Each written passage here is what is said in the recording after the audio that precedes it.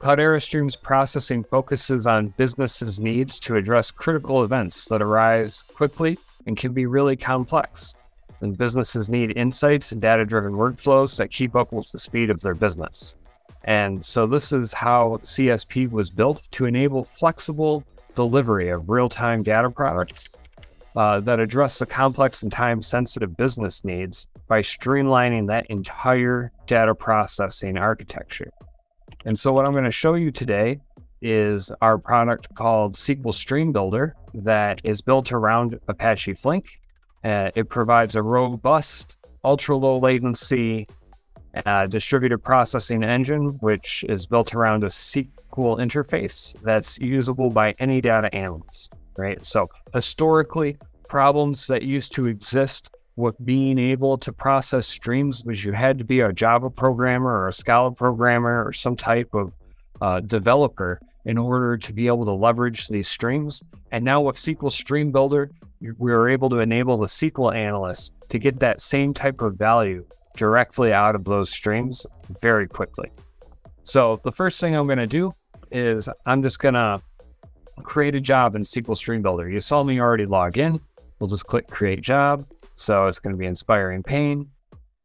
And here we're automatically landed in our console, right? So this is where I'm going to be able to write SQL, just like if you've ever used before any type of SQL workbench type tool or IDE for writing SQL that runs against a, a database. I'm going to be able to do the same thing here.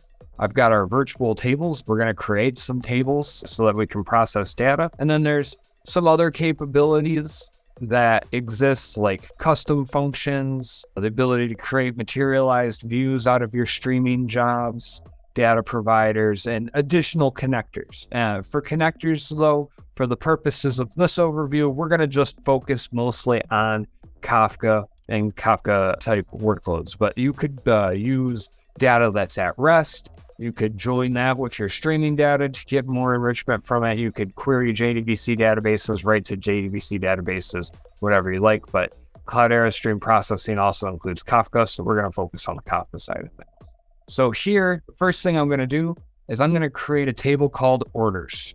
Orders is uh, it looks right just like a regular SQL DDL for the most part, except we've got this special column here called watermark for order time. So uh, SQL Stream Builder and Apache Flink specialize in being able to do time-based processing like windowing and aggregations and things like that. And it's really important to be able to do that with streaming data because streams are arguably never ending, right? But to make intelligent use of that never ending stream, we have to be able to bound it up into something. For example, like a 24 hour retailer doesn't stop selling at midnight, right? It, sells forever until that store closes. But you're going to want to bound up all the sales transactions nightly, for example, to be able to understand what the total sales for that day, week, month, quarter, year were coming out of that store.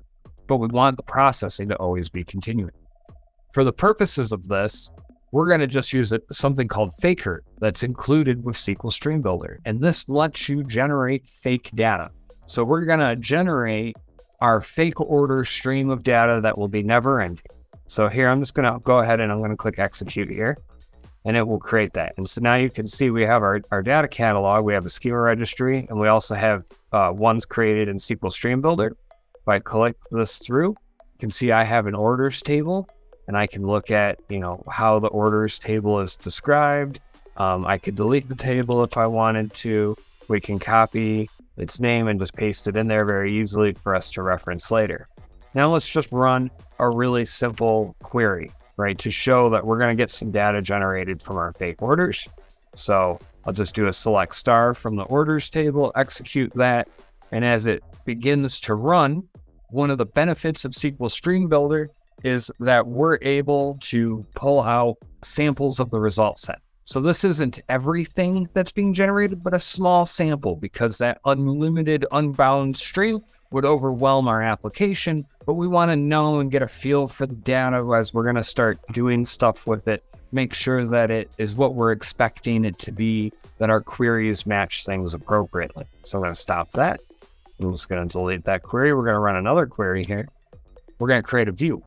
So this view is going to show us when the window starts and ends. So this is that boundness that I spoke about, right? So like instead of nightly though, we're going to do it say over 10 seconds. So we're going to have the start time of the window, the end time of the window. So this would be that 10 second interval. The order status, right? Is it received, preparing, delivering? How many orders we got? And the total value of those orders, we're going to group by the windows and that order status. So let's go ahead and execute that. You can see here that created this summaries object here in the virtual tables. And now let's go ahead and let's just uh, select some of that. So now we're doing some time-based aggregations out of our orders data that's being generated. And job is running. And there we go. So now we've got our first result. We've got a little window here. You can see it's 10 seconds in length. It's for order status preparing. There's one order count right now, and then a, a total amount of $83. And if we let this run a little bit longer, we see it. We'll get another one. We had two canceled orders and over a 10 second period, and it will just continuously run this uh, forever. But maybe now, you know, I need to put this data somewhere. Like maybe I want to put it inside a Kafka topic, for example. So I could just write my query out to say insert into output table, select star from summaries. Well, I don't have a, a virtual table here called that, and I need to target Kafka. So one of the cool things that you can do is you can use templates. You can write your query, your DML query that you normally would write, and click templates. You can go to your Kafka and say, oh, I want to, you know, make a JSON-based Kafka topic, and it will generate the DDL that you need in order to be able to uh, create the virtual table to insert into so that that data will get into Kafka. So let's just call this call order stats, something like that. And we'll execute this. Now I've got an orders table that's going to write into this topic called order stats. Actually, you know what? Let's just make it nice and clean. I'm going to drop. No, we'll, we'll leave it this way. That's fine. And uh, so now what I can do is I can go back to exactly what I was going to do. I can say, hey, let's run this. This will show us, uh, again, some of the sample of results that are coming through. Take, take a couple seconds for just like last time, right? Because it's got a 10 second interval that is, is going to happen. So there's the first one. Okay, now Cloudera Stream Processing isn't just SQL Stream Builder. We also package tools that let you manage your Kafka cluster. So in this case, we're just going to go directly to that so uh, where we're saving that data to. I'm going to just search for orders. There's order stats. You can see we've got one KB of data in. We uh, haven't updated yet, but we can look in our data explorer and we can see now in our Kafka topic that we've started to get these results right out of the bat. We also have a schema registry. And so just really briefly to show you the schema registry, right? We could create a schema if we wanted to. And We could call it orders one. Orders one. No. Save that. And you're able to create new schemas. These schemas can be imported directly into SQL Stream Builder for you to be able to use. You can version your schemas, everything else.